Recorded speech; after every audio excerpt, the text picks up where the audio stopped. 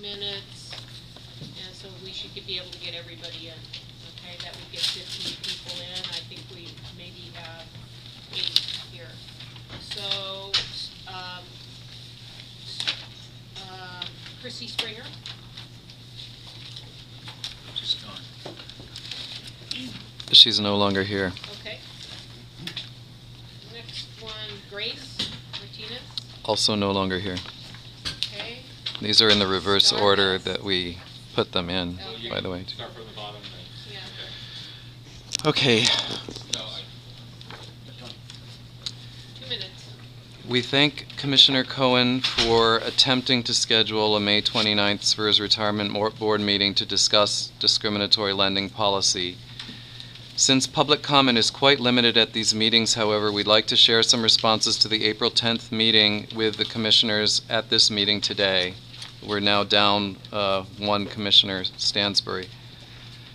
Um, The San Francisco Employee Retirement System has social investment policies that require the commissioners of the Retirement Board to consider discriminatory lending as a factor in determining investment policy as long as it doesn't interfere with the board's fiduciary responsibility of producing investment returns for the exclusive benefit of plan participants. In fact, anything SFERS can do to influence the banks to stop illegal, discriminatory, and predatory lending will almost certainly increase the value of those investments and therefore benefit SFERS plan participants. Mortgage loan servicers like Bank of America, Wells Fargo, and JP Morgan Chase, among others, engaged in discriminatory lending practices according to reputable sources like the U.S. Department of Justice, the Office of the Comptroller of the Currency of the U.S. Treasury, the Federal Trade Commission, the U.S. Department of Housing and Urban Development, and the Center for American Progress. While these banks deny any intent to engage in discriminatory lending, their practices led to the two largest discriminatory lending settlements in U.S. history. The $335 million Bank of America settlement was approximately 50 times larger than any pri- prior discriminatory lending settlement, and the $234.3 million Wells Fargo settlement was approximately 35 times larger than any prior discriminatory lending settlement. And I'll let the next person speak.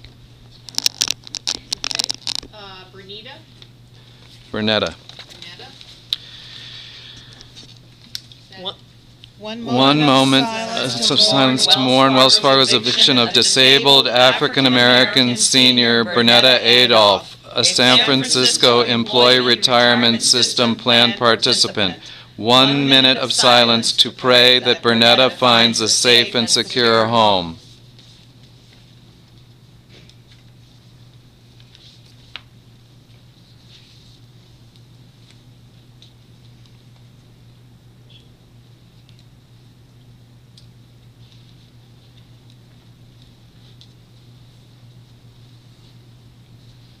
Okay, I think, uh, thank you.